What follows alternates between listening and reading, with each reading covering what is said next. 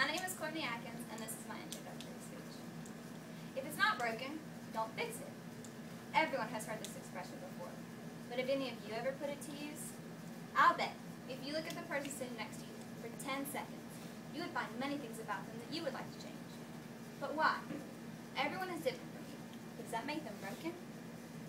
I was born early in the morning on March 10, 1996. That day, and for a while, things seemed normal.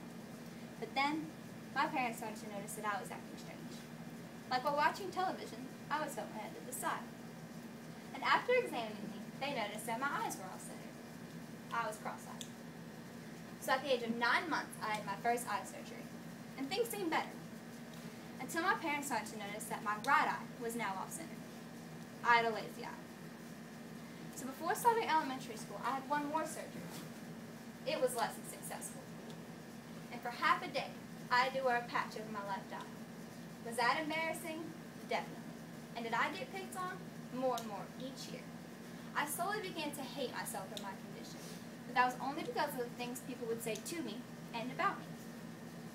I changed schools in the third grade, and things were great for a while. That was, until people noticed my eye. And then the bullying started all over again. But this time, it was ten times worse.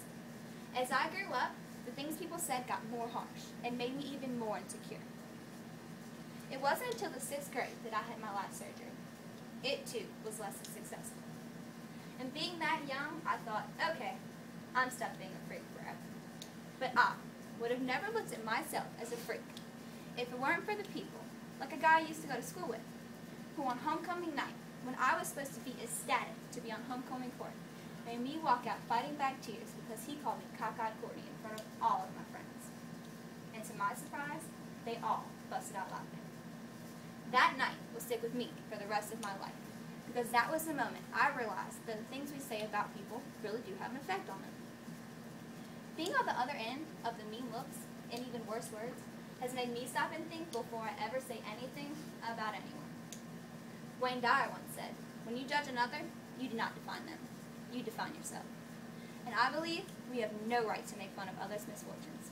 And I continue to stand by that, while others choose to define themselves.